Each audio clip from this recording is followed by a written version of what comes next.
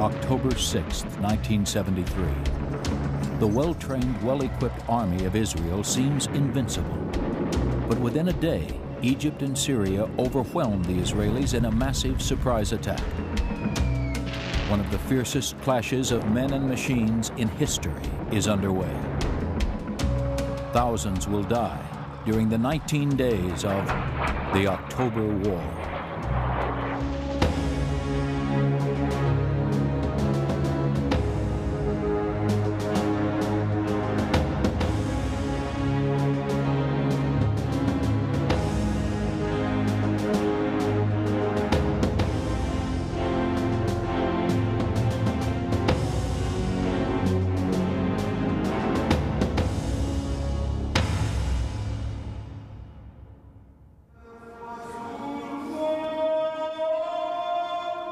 This is the mosque of Muhammad Ali in Cairo, Egypt. Here the Muslim faithful gather every Friday for communal prayer. Like millions across the Middle East, these worshippers humble themselves before God and pledge their devotion to the words of the Prophet Muhammad.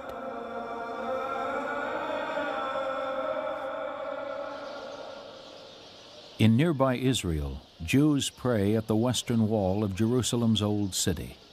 This is Judaism's holiest site, but it is also sacred to Muslims and Christians. Until 1967, Jerusalem was part of the nation of Jordan. Then, during the Six Day War, Israel captured the city, as well as large amounts of territory from Egypt and Syria. For Israelis, gaining Jerusalem was a military and a religious victory. But to many Arabs, the loss of the Holy City was a black day for Islam. Egypt's territorial losses were not as religiously charged as the capture of Jerusalem, but the blow to its pride demoralized this ancient nation. As the leaders of the Arab nationalist movement, Egyptians had inspired the Arab world with their pride in their culture and their refusal to be manipulated by the superpowers. Israel considered Egypt its most dangerous opponent the two countries had been in almost constant battle since 1948, when the Zionist state was formed. Israel held the Egyptians at bay, but neither side scored a decisive victory until the Six-Day War, when Israel crushed the Egyptian army and captured another symbol of Arab pride, the Suez Canal, a pivotal part of the Egyptian economy. Bridging the Mediterranean and Red Seas, the 101-mile canal links the east with the west, allowing oil to flow from the Gulf states to Europe and beyond. The canal has been fought over since it opened in 1869. The British Empire conquered Egypt to gain control of the waterway, and they held it for 72 years, until they were driven out in 1956. Egypt controlled the canal until 1967, when Israel launched a surprise attack against its Arab neighbors. In less than a week, Israel captured the entire Sinai Peninsula, the West Bank of Jordan, and the Golan Heights. The state of Israel nearly quadrupled in size. Besides gaining land, Israel emerged from the Six-Day War with the reputation of having one of the finest armies in the world. Their success at fast-moving attacks, particularly armor assaults, was undeniable. Israel's leaders were convinced that their military superiority was absolute. When the Arab nations sought to negotiate a settlement for their captured lands, Israel's response was half-hearted. They felt no need to negotiate. Realizing that Israel would never meet his demands, Egyptian President Anwar Sadat set into motion a plan to recapture the Suez Canal and to wipe out the humiliation of the Six-Day War. The plan was called Operation Spark. It called for a shocking military action that would result in a political solution to the Sinai crisis. Sadat's goal was to cross the Suez, bloody the Israeli army, and recapture the canal and as much of the Sinai as possible. At this point, he reasoned, the superpowers and the rest of the United Nations would intervene. Then, Israel would be forced to bargain. Sadat and his generals made sure that Operation Spark would not be a repeat of the 1967 disaster. The Egyptian army spent months training for the assault, using new weapons purchased from the Soviet Union with money supplied by Saudi Arabia. To further improve his odds, Sadat looked for another nation to attack Israel in the north as he struck in the south. He found an eager partner in Syria. The border between Syria and Israel is called the Purple Line, and today it looks much as it did in 1973. Miles of mines, anti-tank ditches, and electrified fences separate these two long-time antagonists. The Israelis smooth the sand along their fences, then search for the footprints of intruders. A small demilitarized zone monitored by the United Nations keeps both sides at a safe, if uncomfortable, distance from each other.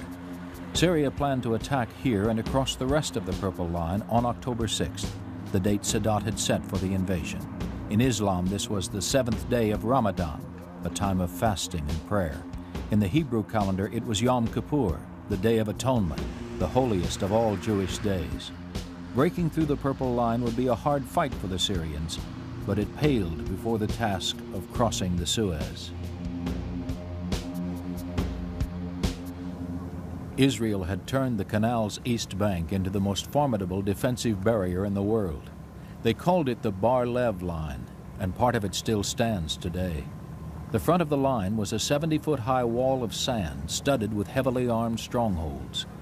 Even if an Egyptian force managed to cross the canal through heavy gunfire, the IDF calculated that it would take them hours to blast holes through the sand wall, giving Israel ample time to send reinforcements to the front. Clearly, attacking the Bar-Lev line was suicide, but on October 6, 1973, Egypt launched just such an attack. It was a great night.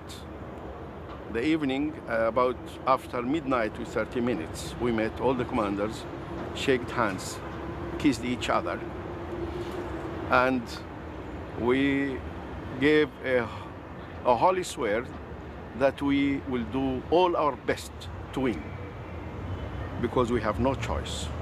We have to win or to die, nothing else.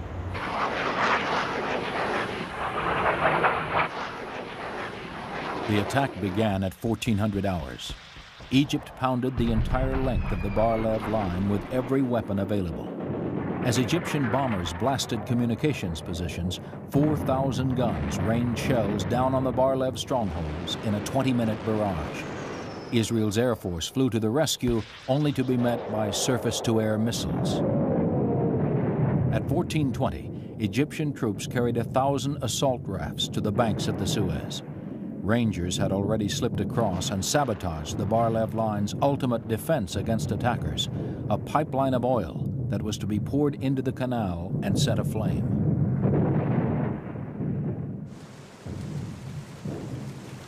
The first wave of attackers carried anti-tank weapons, bridge-laying equipment, and high-pressure water pumps.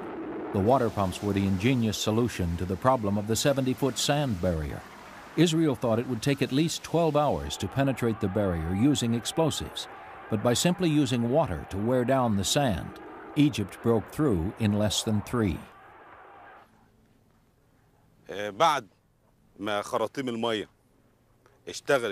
The water hoses opened large gaps in the sand barrier. Then some of our forces unfolded bridges into the water and took them from the west side to the east side in order to connect them with the bridgehead that was just opened. Then bulldozers proceeded to flatten a road so the rest of our forces could cross from the bridges. Some soldiers used wooden ladders to climb over the huge sand barrier in the areas that did not get opened by the hoses. I was a major commanding a unit. I carried my weapons, which were a rifle and a pistol, as well as lots of ammunition and lots of supplies and water, plus anything else that would facilitate my mission. All of that would have weighed about 40 kilograms. The crossing was marked by very high morale. It was also marked by the cry, God is great. Israel had built 33 fortified outposts along the Bar-Lev line, each about six miles apart. Only 16 were operational on the day of the attack. The 600 soldiers manning the fortresses were stunned by the sight of tens of thousands of Egyptian troops swarming toward them. The first stronghold fell less than an hour after the attack began, and the rest began to follow in a domino effect. For the IDF, it was almost inconceivable. Arab soldiers, never considered worthy opponents, had taken them by surprise. When you are ready for war and all the arrangements are finished, you will feel like students who finished all his studies and ready for the exam next day. It has been for us a great pleasure to share in that war because we know exactly who are the Israeli troops and who are the Israeli commanders. We have been looking to them from the war of 67 in front of us till the day of the 6th of October. We know their capacity, we know what they can do, and we know what we can do. And that land was ours. Israel's second line units, posted some 10 miles behind the Bar-Lev line, went into action. Tanks were sent to the front without infantry or air support, breaking one of the cardinal rules of armored warfare. They paid the price. Charging IDF tanks were ambushed by Egyptian soldiers carrying wire-guided Sagger missiles and handheld RPG-7s. IDF losses were heavy, a crucial advance in technology had given Egyptian foot soldiers the edge over the IDF Armored Corps, which was far better at fighting other tanks than men lying in ambush.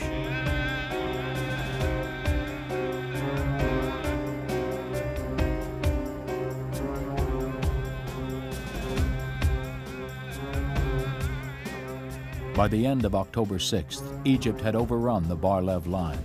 14 Israeli strongholds had been captured. Five bridges and 10 decoys now linked the east and west banks of the Suez Canal. Five infantry divisions, roughly 80,000 men, had crossed over to the Sinai, with 208 killed, a death toll much lower than the Egyptians had expected. Behind the front lines, Israel's general staff was in a state of near panic. Reserve units were being hastily mustered together, and battalions in the rear were rushed to the front. Many senior commanders refused to accept the severity of the situation.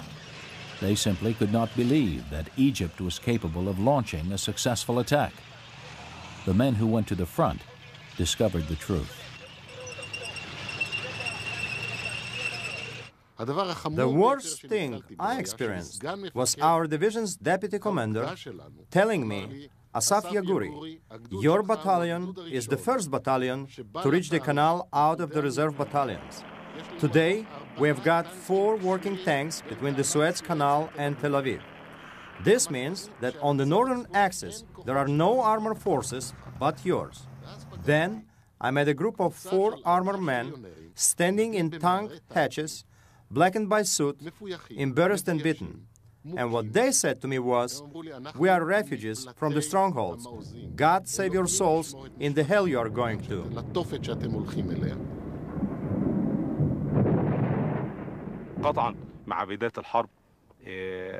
Of course, with the beginning of the war, there was total destruction in more than one location, and a lot of people were destroyed and died.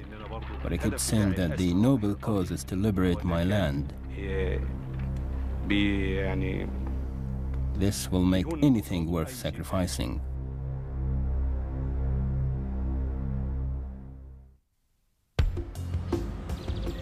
This is Tel Aviv, Israel's second largest city. Approximately 320,000 people live here, out of Israel's total population of 5 million. The country is so small and its enemies are so numerous that every able-bodied citizen is expected to fight for his country. At the age of 18, Israelis are drafted into the army. Men serve for three years, women for two. Afterwards, men and unmarried women are assigned to reserve units. These units train together constantly, year after year. Many of the soldiers who fought side by side in the October War still train together today. Often they work together or live in the same neighborhoods. These close-knit, cradle-to-grave units make effective fighting teams, but they also turn every battlefield into a graveyard filled with friends.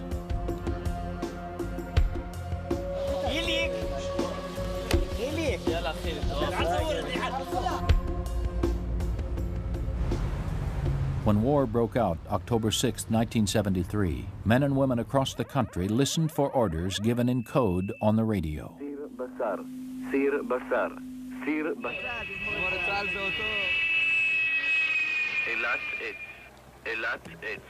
We got a message that we must reach our unit. uh, we also heard on the radio that there is probably going to be a war breaking out and that Syrian and Egyptian airplanes were attacking our forces. In the Golan Heights and in the Sinai, Israel had opted for a dangerous defensive strategy, a heavy reliance on tanks without much infantry support. Tank battalions were expected to hold off the enemy until troops were mobilized and brought to the front since no one felt Syria or Egypt capable of launching a competent assault, this gamble seemed logical. Now the IDF would pay a heavy price for its overconfidence.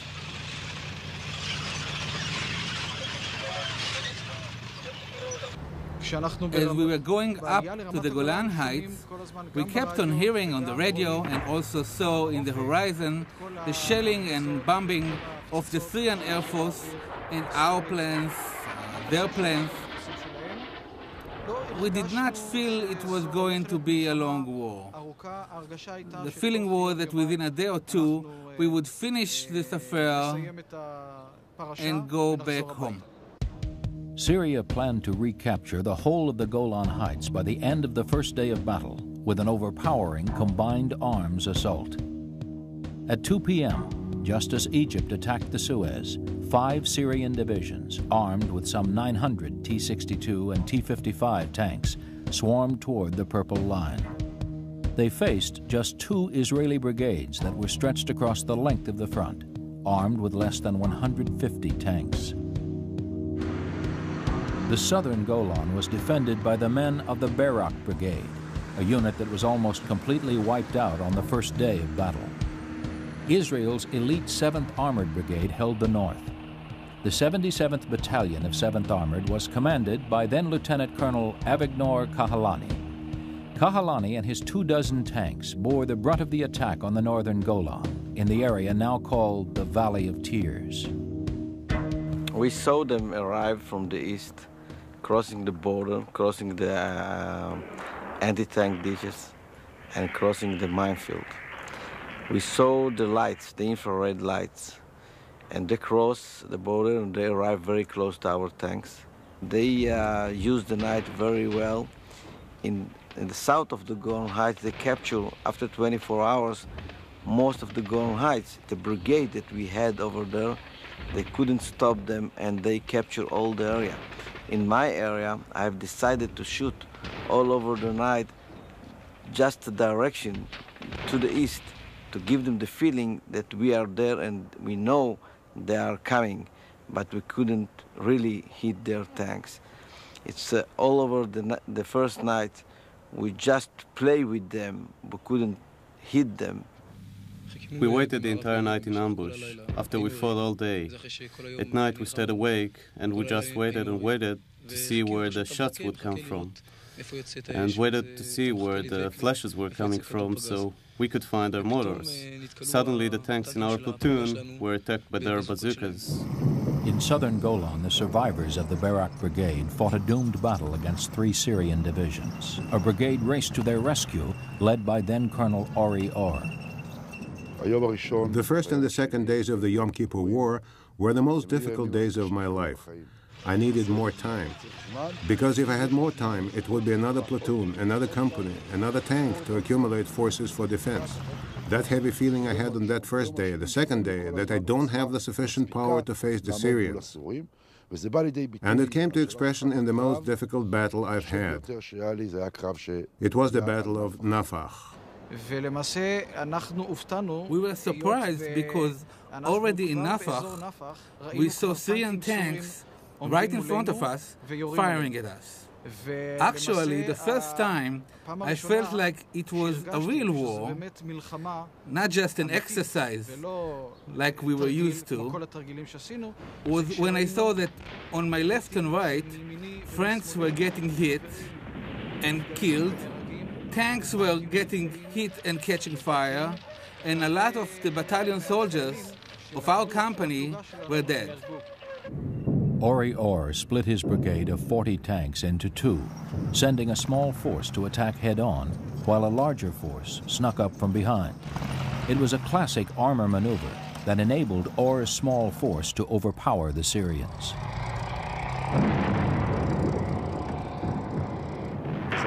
This battle lasted about four, five, up to eight hours if I add up everything.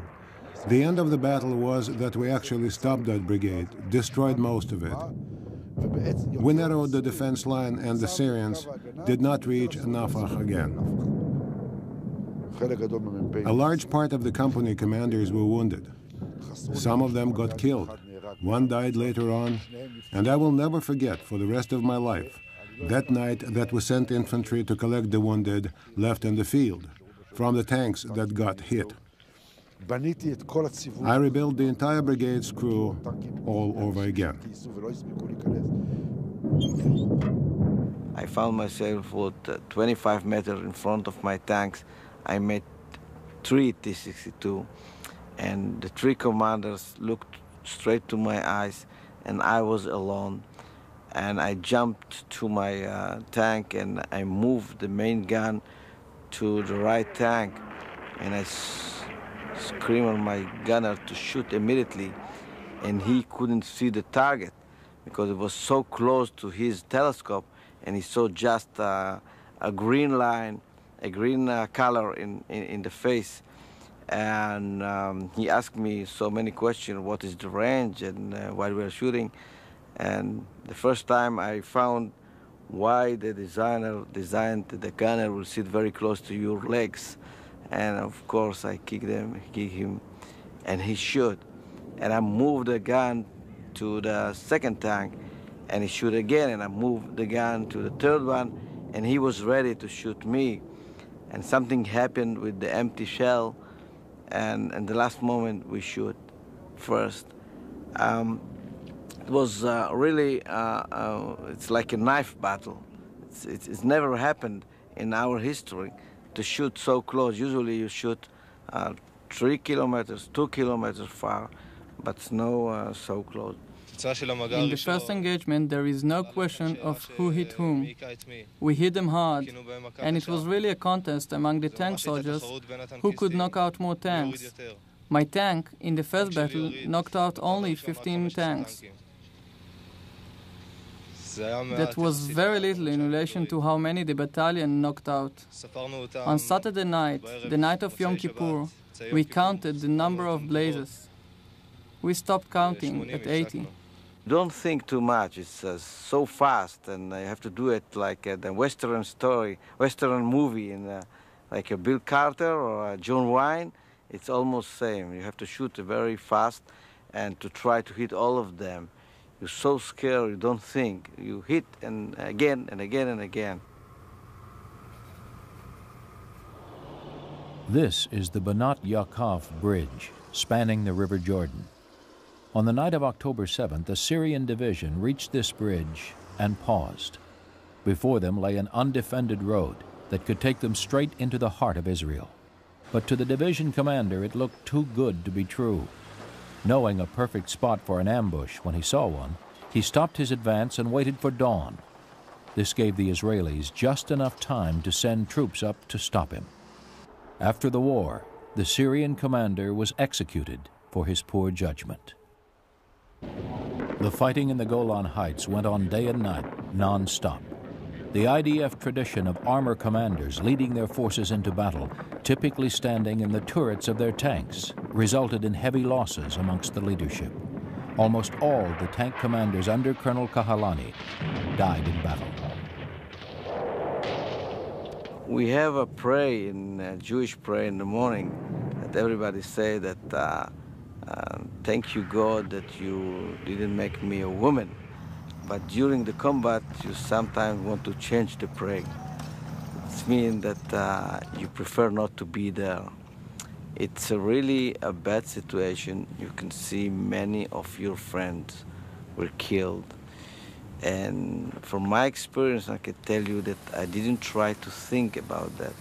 I saw them, I saw what happened to them, and I closed my eyes and looked to the enemy to try to identify who is going to kill me now, and I tried to kill him first. I saw on the roadside one of our soldiers lying down, seriously wounded. Then I was in a very serious and difficult dilemma. I was torn between the decision to get out of the tank take him, turn around with the tank, and evacuate him because he was wounded. Or to go on with my mission, drive on in order to block, and I remind you, we were in the situation of uh, blocking the Syrians. And then I decided to stop the tank. Behind me were two or three more tanks, but I stopped the tank. I got out with the canteen and I gave the fellow some water. He grabbed my hand, grabbed me hard, and yelled in Hebrew, Hanan, help me. Take me away from here, because I'm wounded. He was severely wounded. At least one leg was blown away, and he was bleeding. The fact he called me Hanan increased my dilemma even more because he knew me. I could not recognize him because he was so badly wounded. Eventually, I forcefully broke myself off from him, from his strong hold of my hand. I got on my tank and continued. I continued understanding, knowing that I made the right decision. I continued to fight against the Syrian tanks.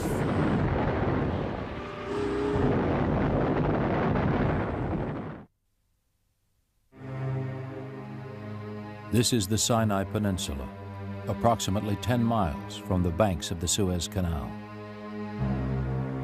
In 1973, thousands of men fought and died here. Now, the carcasses of their killing machines are all that remain to mark their passing.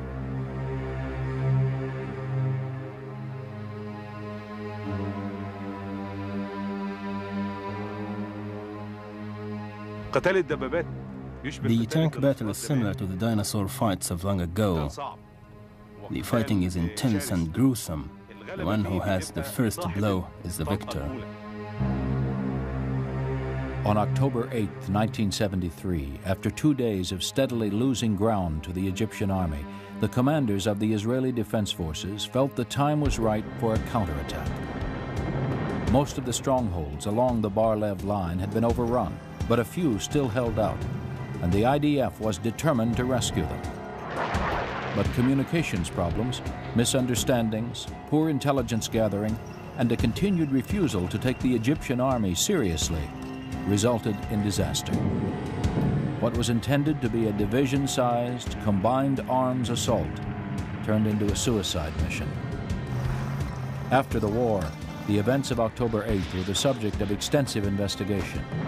Ultimately, the blame was laid at the feet of the senior commanders, who stayed well away from the front lines and disregarded the counsel of their field commanders. The battle is one of the most controversial in IDF history. This is an M60 tank which was driven by the Israeli commander Asaf Yaguri, commander of the 190th Armored Battalion, which attacked our forces that were pushing from the West Bank to the East Bank towards the center.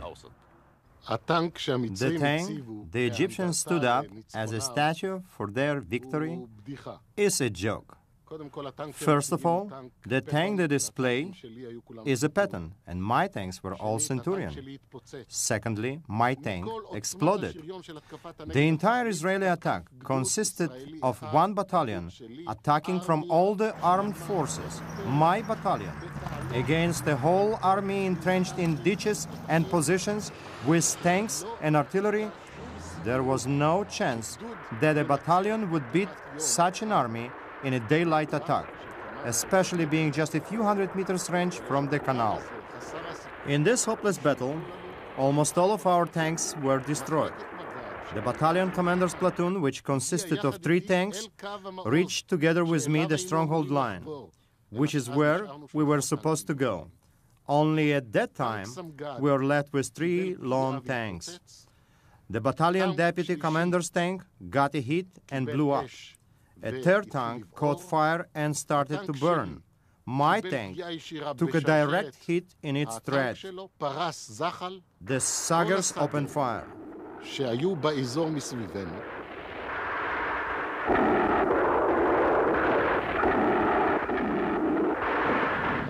My consideration was should we stay in this fire trap or get the crew out, at least to save the people. Asaf Yaguri and his crew were taken prisoner, and Yaguri became Egypt's highest ranking Israeli POW. When the war ended, he was the last soldier released. Now the IDF realizes that removing Egypt from the Sinai will not be a simple task. How well are the Egyptians fighting you at the moment? Are they more stubbornly than before? Yes, I think that uh, they uh,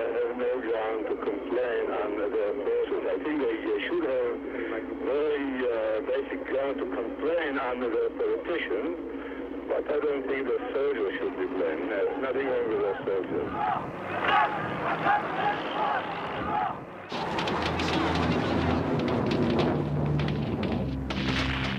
Meanwhile, in the Golan Heights, the war between Syria and Israel had been raging non-stop for three days. Commanders and their crews were on the verge of complete exhaustion. Here, in the Valley of Tears, the fighting reached its peak. Colonel Kahalani's 77th Battalion had only six tanks left, and their ammunition was almost gone.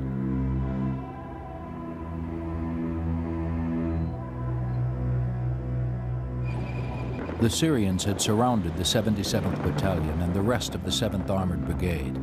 Tanks were fighting now one-on-one at point-blank range. But just as defeat seemed inevitable, a rescue party of 13 tanks poured onto the ridge above the valley and opened fire on the Syrian forces below.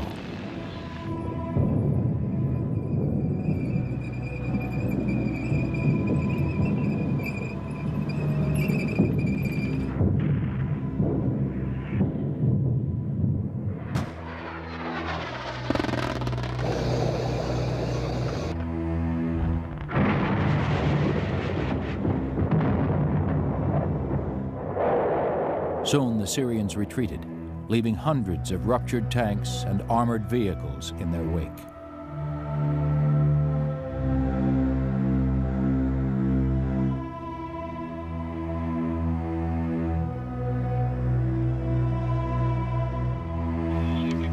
I think that today the Syrian will learn that the road from Damascus to the State of Israel also runs from the State of Israel to Damascus. Now that the Israelis had the initiative, and despite the exhaustion of their troops, they decided to press their advantage and drive the Syrians back to the Purple Line. In southern Golan, Ori Orr's brigade launched a savage attack on the oncoming Syrians, who by this point were as weary and shell-shocked as their opponents.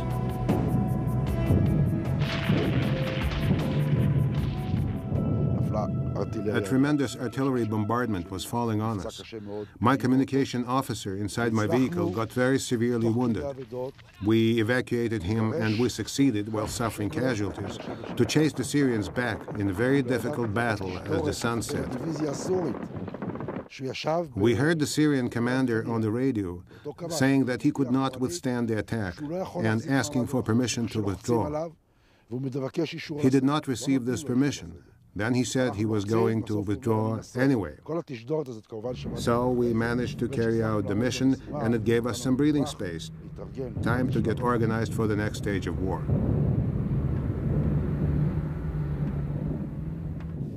I think there are several drives, forces, that drive combatants on the battlefield, and none of them have to do with ideological conceptions like country, duty, honor. I think one simple drive is survival. You fight decisively because on many occasions that's the only way to stay alive.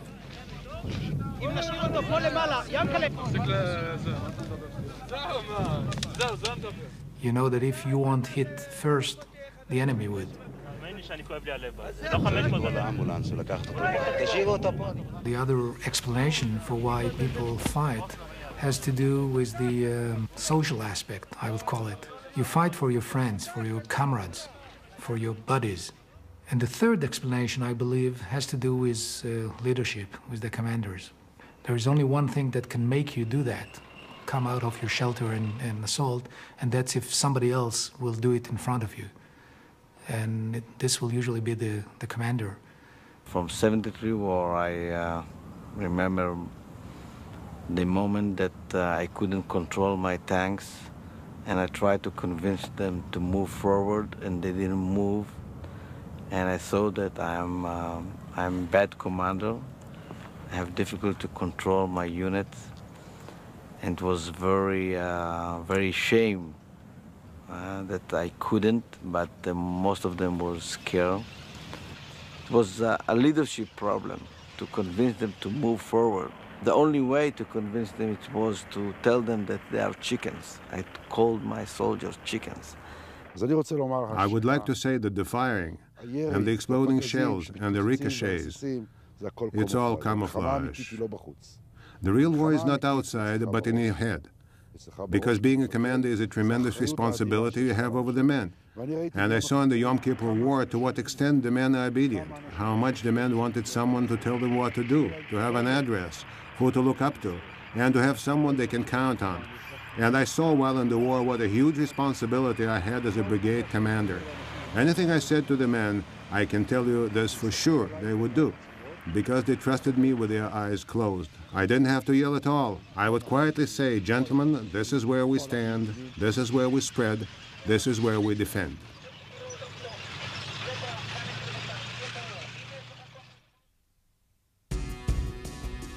October 11, 1973, in the Valley of Tears.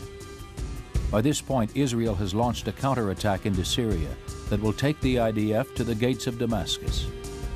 They leave behind them the detritus of battle, the carcasses of over 500 tanks.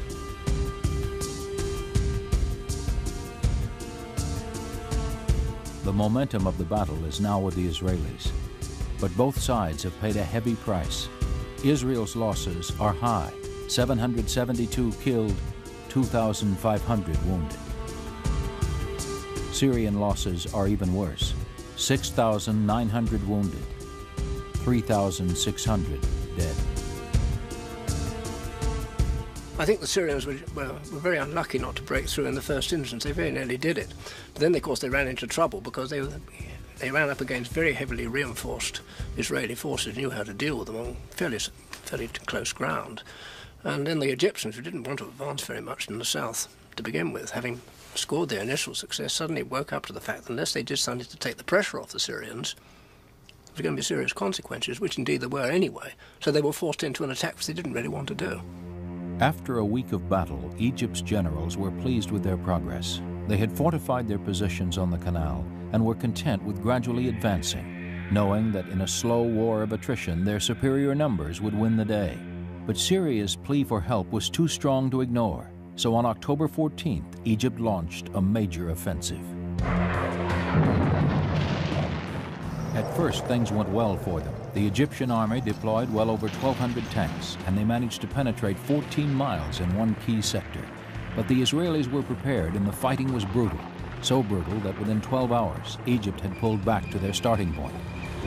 The Egyptian army had run directly into a wall of artillery, tanks, and infantry lying in ambush.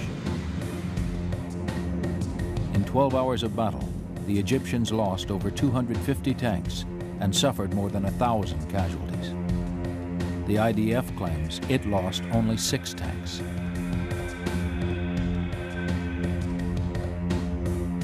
More days of attrition warfare followed. The IDF began preparing a major counteroffensive by October 15th, Israel was ready for a surprise canal crossing of its own.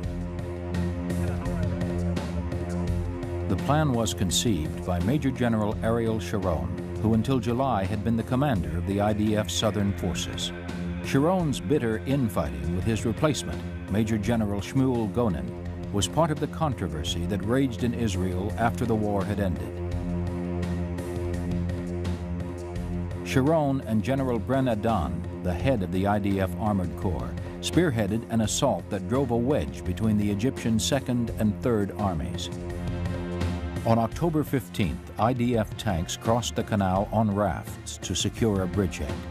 Then combat engineers working under heavy fire began building a bridge across the Suez.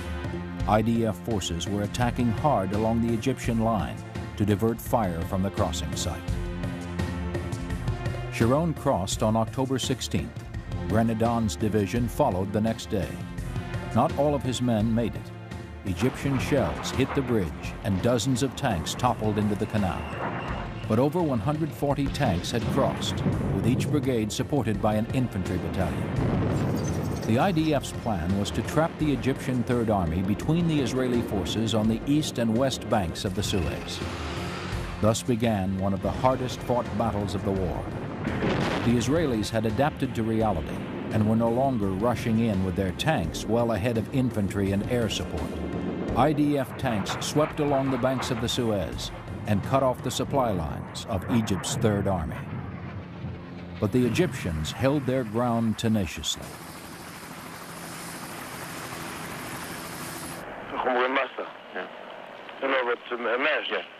artillery mass, uh, talking about Lenchik tank attack, it's mass uh, humans, uh, soldiers, it's a mass anti-tank weapon missiles, that's a mass. Have the Egyptian casualties been very heavy? Well, I would say so, yes. By October 22nd, Egypt began to press for a ceasefire.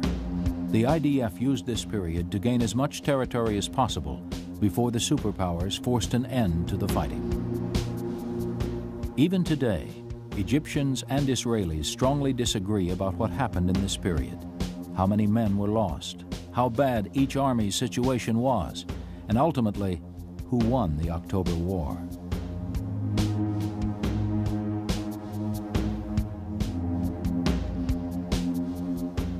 With the Israeli troops now in Egypt, on the West Bank, do you still feel that you have a victory? Yes, of course. If they have enough forces in the Western Bank, why didn't didn't they went to Cairo? Why didn't they take Suez? Why didn't they take Ismailia?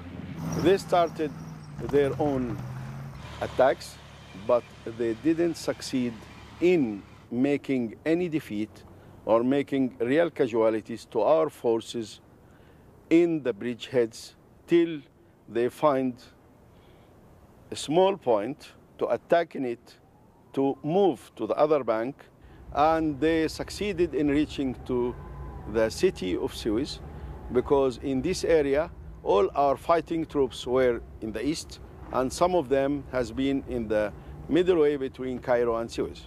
In the morning they succeeded in, in entering the city of Suez and seven of their tanks are destroyed. After that they pulled out and never they came back. On October 24th, a final ceasefire between Egypt, Israel, and Syria took hold. The IDF had crossed into Africa, theoretically surrounding the Egyptians, but Egypt never relinquished the Suez Canal. Egyptians think that they succeeded in this war. They think that they, if they, they placed some uh, few hundreds of soldiers and tanks in, the, in our bank of the canal, then they think that this, this is a victory for them. And uh, when the Arabs think that they have won or they have a big victory, this, is this encourages them. And the next thing you'll know is that in a year or two, we'll have another war and more casualties. In fact, just the opposite happened. The carnage of the October War helped to bring about a peace treaty between Egypt and Israel, the first between an Arab nation and the Zionist state. The main phenomenon is that we established friendship between the two nations. Now there is a real friendship between the people of Israel and the people of Egypt. Friendship was not soon in coming for Israel and Syria. After the October War, Israel pulled back to its 1967 ceasefire lines. But border skirmishes were common, and the two nations battled again during Israel's 1982 war with Lebanon. Decades later, the two countries were still trying to decide the fate of the Golan Heights. The October War exacted a brutal price from all sides. In the Sinai, Israel lost almost 2,700 men, more than half of them tank soldiers. These losses touched virtually every family in this small country. The prosecution of the war, particularly the fight for the Sinai, is controversial to this day. Still, Israel insists it won the war. Egypt lost 11,000 men with 25,000 wounded. But here, as in most of the Arab nations, the October War is considered a tremendous victory. In Cairo, a large, very popular museum tells the story of the Egyptian army's most successful battle since the age of the pharaohs. Here, the story of the war is the story of the crossing. If you want to speak about the objectives, we succeeded in crossing the most difficult water barrier in the world and destroyed one of the strongest defense line. It was stronger than Maginot Line or Siegfried Line in the Second International War. And we succeeded in destroying one-third of the air forces of Israel and succeeded in destroying more than 800 tanks from the Israeli forces. And then what we achieved by this war, at the end, we took back our Sinai.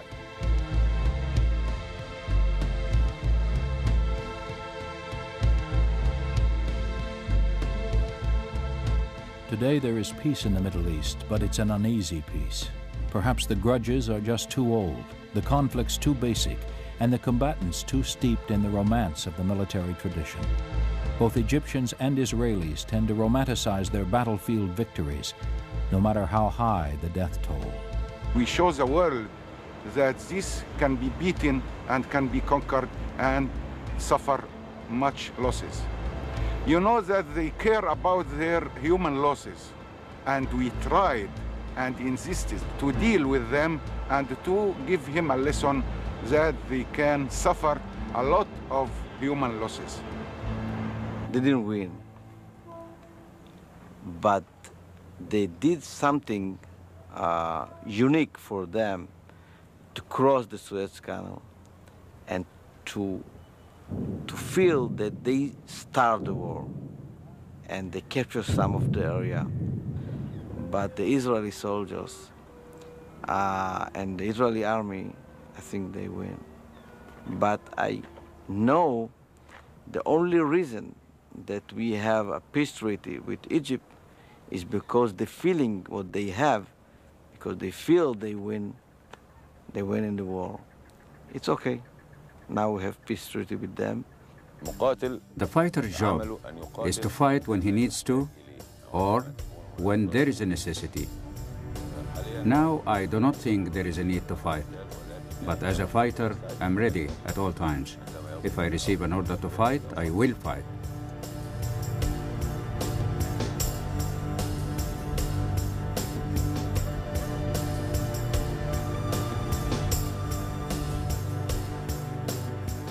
Remnants of the October 6th crossing still remain on the banks of the Suez.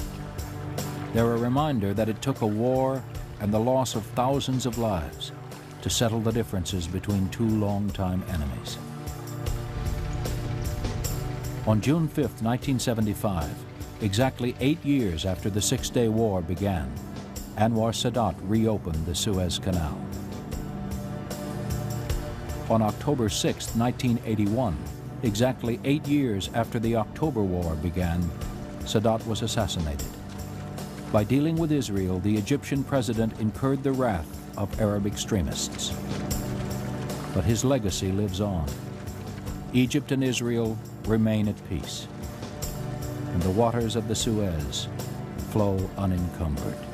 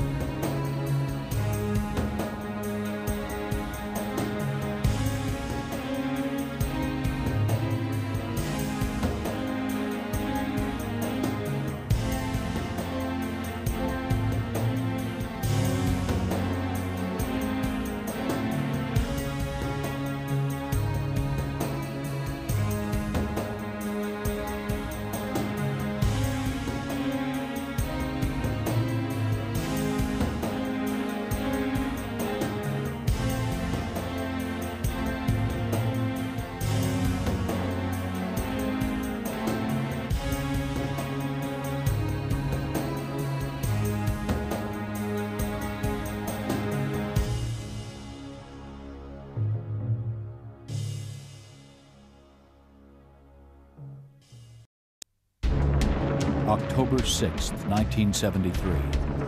The well-trained, well-equipped army of Israel seems invincible. But within a day, Egypt and Syria overwhelmed the Israelis in a massive surprise attack. One of the fiercest clashes of men and machines in history is underway. Thousands will die during the 19 days of the October War.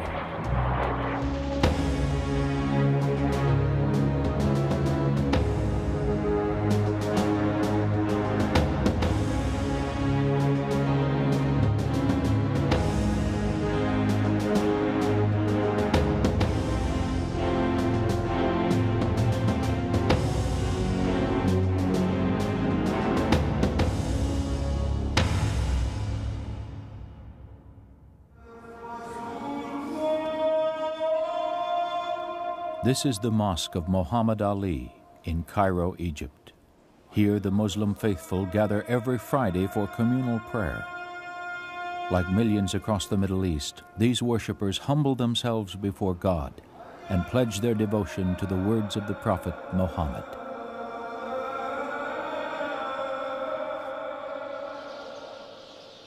In nearby Israel, Jews pray at the western wall of Jerusalem's old city.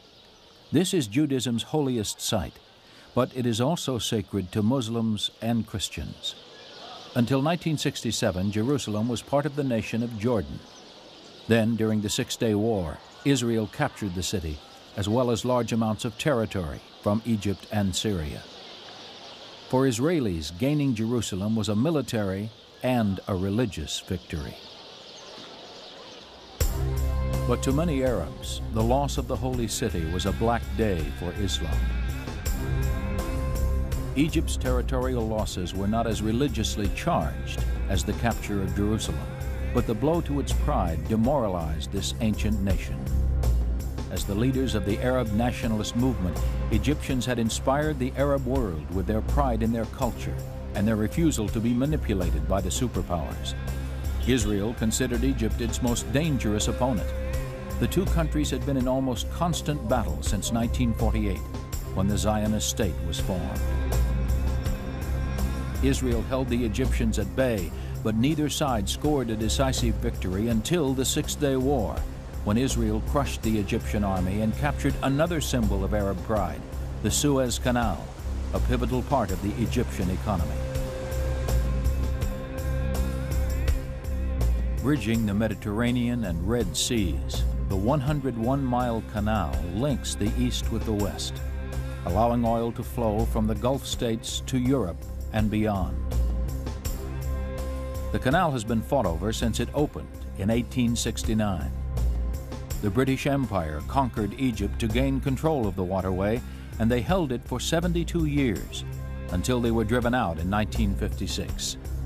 Egypt controlled the canal until 1967, when Israel launched a surprise attack against its Arab neighbors. In less than a week, Israel captured the entire Sinai Peninsula, the West Bank of Jordan, and the Golan Heights. The state of Israel nearly quadrupled in size. Besides gaining land, Israel emerged from the Six Day War with the reputation of having one of the finest armies in the world. Their success at fast moving attacks, particularly armor assaults, was undeniable. Israel's leaders were convinced that their military superiority was absolute. When the Arab nations sought to negotiate a settlement for their captured lands, Israel's response was half hearted. They felt no need to negotiate. Realizing that Israel would never meet his demands, Egyptian President Anwar Sadat set into motion a plan to recapture the Suez Canal and to wipe out the humiliation of the Six Day War. The plan was called Operation Spark. It called for a shocking military action that would result in a political solution to the Sinai crisis. Sadat's goal was to cross the Suez, bloody the Israeli army, and recapture the canal and as much of the Sinai as possible. At this point, he reasoned, the superpowers and the rest of the United Nations would intervene. Then, Israel would be forced to bargain. Sadat and his generals made sure that Operation Spark would not be a repeat of the 1967 disaster. The Egyptian army spent months training for the assault, using new weapons purchased from the Soviet Union with money supplied by Saudi Arabia. To further improve his odds, Sadat looked for another nation to attack Israel in the north as he struck in the south. He found an eager partner in Syria. The border between Syria and Israel is called the Purple Line, and today it looks much as it did in 1973. Miles of mines, anti-tank ditches, and electrified fences separate these two long-time antagonists. The Israelis smooth the sand along their fences, then search for the footprints of intruders. A small demilitarized zone monitored by the United Nations keeps both sides at a safe, if uncomfortable, distance from each other. Syria planned to attack here and across the rest of the Purple Line on October 6th, the date Sadat had set for the invasion. In Islam, this was the seventh day of Ramadan, a time of fasting and prayer. In the Hebrew calendar, it was Yom Kippur, the Day of Atonement, the holiest of all Jewish days. Breaking through the Purple Line would be a hard fight for the Syrians, but it paled before the task of crossing the Suez. Israel had turned the canal's east bank into the most formidable defensive barrier in the world. They called it the Bar Lev Line, and part of it still stands today. The front of the line was a 70 foot high wall of sand studded with heavily armed strongholds. Even if an Egyptian force managed to cross the canal through heavy gunfire, the IDF calculated that it would take them hours to blast holes through the sand wall, giving Israel ample time to send reinforcements to the front. Clearly, attacking the Bar Lev line was suicide, but on October 6, 1973, Egypt launched just such an attack. It was a great night the evening, uh, about after midnight with 30 minutes, we met all the commanders, shook hands, kissed each other, and we gave a, a holy swear that we will do all our best to win because we have no choice. We have to win or to die, nothing else.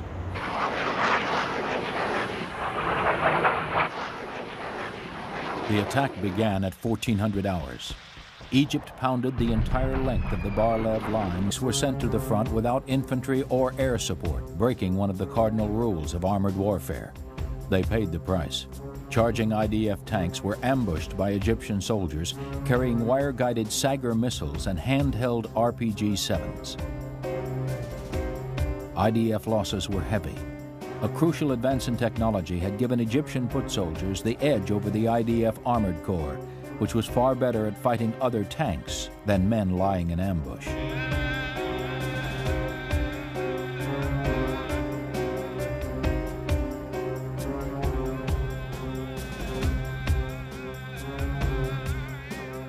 By the end of October 6th, Egypt had overrun the Barlev line.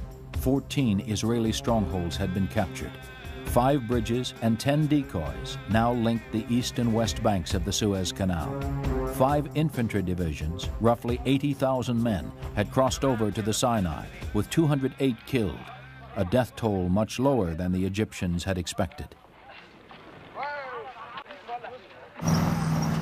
Behind the front lines, Israel's general staff was in a state of near panic. Reserve units were being hastily mustered together, and battalions in the rear were rushed to the front. Many senior commanders refused to accept the severity of the situation. They simply could not believe that Egypt was capable of launching a successful attack. The men who went to the front discovered the truth. The worst thing I experienced was our division's deputy commander telling me Asaf Yaguri, your battalion is the first battalion to reach the canal out of the reserve battalions. Today, we have got four working tanks between the Suez Canal and Tel Aviv. This means that on the northern axis, there are no armored forces but yours. Then, I met a group of four armored men standing in tank hatches, blackened by soot, embarrassed and beaten. And what they said to me was, We are refugees from the strongholds. God save your souls in the hell you are going to.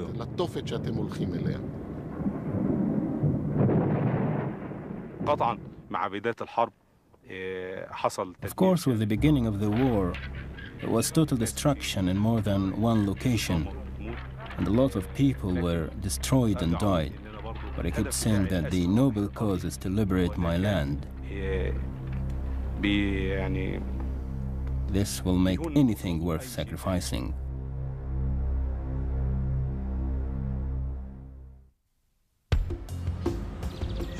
This is Tel Aviv, Israel's second largest city. Approximately 320,000 people live here, out of Israel's total population of 5 million. The country is so small and its enemies are so numerous that every able-bodied citizen is expected to fight for his country. At the age of 18, Israelis are drafted into the army. Men serve for three years, women for two. Afterwards, men and unmarried women are assigned to reserve units. These units train together constantly, year after year. Many of the soldiers who fought side by side in the October War still train together today. Often they work together or live in the same neighborhoods. These close-knit, cradle-to-grave units make effective fighting teams, but they also turn every battlefield into a graveyard filled with friends.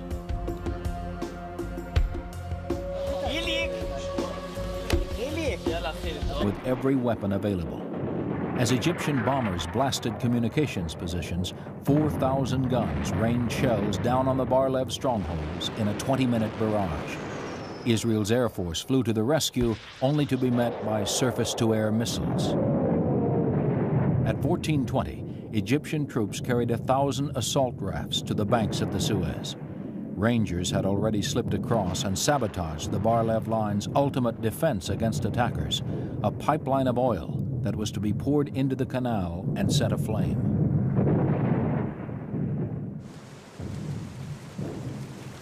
The first wave of attackers carried anti-tank weapons, bridge-laying equipment, and high-pressure water pumps. The water pumps were the ingenious solution to the problem of the 70-foot sand barrier.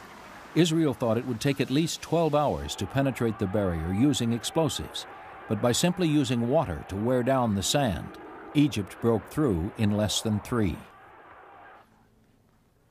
بعد ما خراطيم الميه the water hoses opened large gaps in the sand barrier.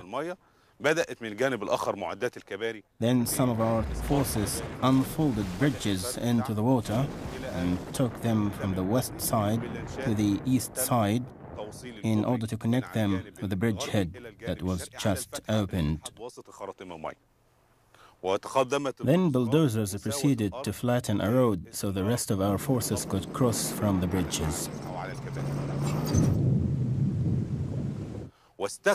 Some soldiers used wooden ladders to climb over the huge sand barrier in the areas that did not get opened by the hoses. I was a major commanding a unit. I carried my weapons, which were a rifle and a pistol, as well as lots of ammunition and lots of supplies and water, plus anything else that would facilitate my mission. All of that would have weighed about 40 kilograms. The crossing was marked by very high morale. It was also marked by the cry, God is great. Israel had built 33 fortified outposts along the Bar-Lev line, each about six miles apart. Only 16 were operational on the day of the attack. The 600 soldiers manning the fortresses were stunned by the sight of tens of thousands of Egyptian troops swarming toward them. The first stronghold fell less than an hour after the attack began, and the rest began to follow in a domino effect. For the IDF, it was almost inconceivable. Arab soldiers, never considered worthy opponents, had taken them by surprise. When you are ready for war and all the arrangements are finished, you will feel like students who finished all his studies and ready for the exam next day. It has been for us a great pleasure to share in that war because we know exactly who are the Israeli troops and who are the Israeli commanders. We have been looking to them from the war of 67 in front of us till the day of the 6th of October. We know their capacity, we know what they can do, and we know what we can do. And that land was ours. Israel's second line units, posted some 10 miles behind the Bar-Lev line, went into action. Tank. When war broke out October 6, 1973, men and women across the country listened for orders given in code on the radio.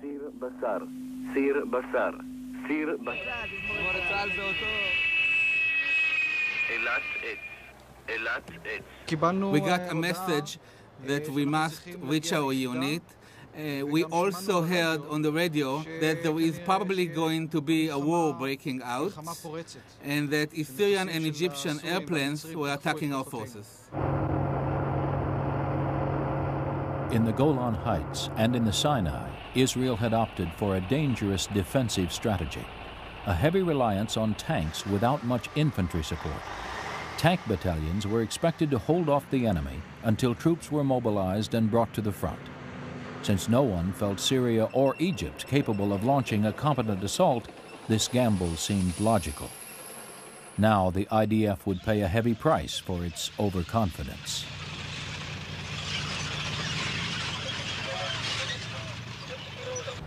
As we were going up to the Golan Heights, we kept on hearing on the radio and also saw in the horizon the shelling and bombing of the Syrian Air Force and our planes, their planes.